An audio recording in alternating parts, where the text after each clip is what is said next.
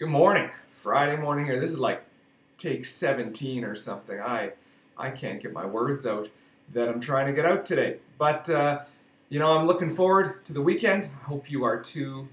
The cold snap is behind us and the weather looks real promising for the next couple of days. So I'm hoping to get some family adventures in out in the snow. Um, the last couple of days, I've had uh, numerous conversations with people. Uh, and it's just kind of all been related to something that I think all of us are feeling from time to time, and, and some maybe uh, a little bit more than others uh, at various times of the day, or, or just maybe right now you're just kind of feeling like this is every day. Is you're just COVID exhausted, frustrated with all of, of all of it, and just disappointed, whatever it might be. Well, I just want to remind you uh, that you know our church is taken very seriously uh, the precautions in place, and we're trying to take care of the physical well-being of our community, but but the emotional and spiritual well-being uh, for us has a higher priority, um, though the physical is important as well, and I'm not trying to diminish that. But the point of what I'm trying to say is this: we are allowed uh, a certain number of people in our sanctuary Sunday mornings. And I know a few of you have kind of mentioned in passing that, man, you just miss uh, worshiping together. And I know it's not it's not going to be the same as it was if you show up on a Sunday morning, but you will be encouraged. There are some of us there that you can see, you can interact with in person, you can feel encouraged spiritually, you can be uplifted, uh, you can be challenged, and, and, I, and I think probably a little more effective uh, to grow in that in that way when we're there, even there if even if there's just a few of us together. Uh, and so I just want to make sure that you know that that is available. Uh, because uh, our fire capacity is a certain number and all those things, we do need to know in advance. Uh, but that's no problem. You can just email me, text me, phone me, whatever, and just say, you know what, uh, me and my family of three, or or just yourself, or, or whatever it might be.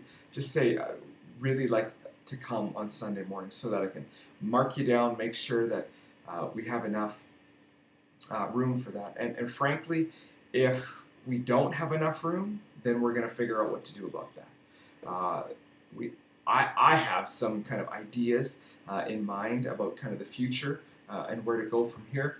Uh, but those conversations haven't really happened beyond in my own head.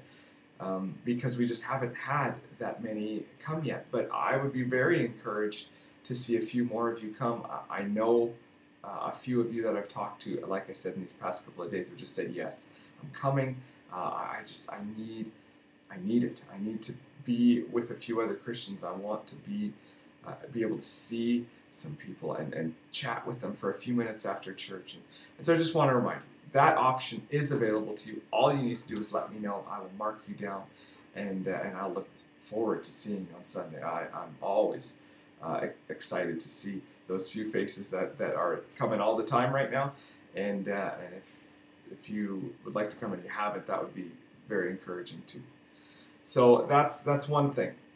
I do want to encourage you with your, with your mental and your spiritual health is uh, it can be tough right now. And, and I just really want to encourage you to spend time in the Word, spend time in prayer. I'm, I'm just finishing uh, a section for a book for a seminary class. It's just it's not an academic book. It's just a practical one called Habits of Grace, and it's just reminding me of certain areas uh, that that I need to do a little bit better job of, of making them habits in my life, making them just just things that I do because I see the value in them and the self discipline is there so that they just become part of my day to day routine. And, and, if you're like me, and I'm sure many of you uh, can relate, is, is there's seasons in our life where we're much better in, in our prayer life or uh, in our uh, in our quiet time with God, uh, with our scripture readings, uh, and sometimes those don't go as well.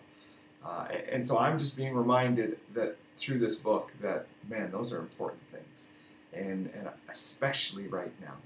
So I just really encourage you, make sure you are being intentional uh, in going to the Word, in spending time in prayer, uh, and just really focusing on God uh, in these moments. And, and, hopefully we can move past the frustrations, the difficulties, and, and we can find some hope in, in the Scripture.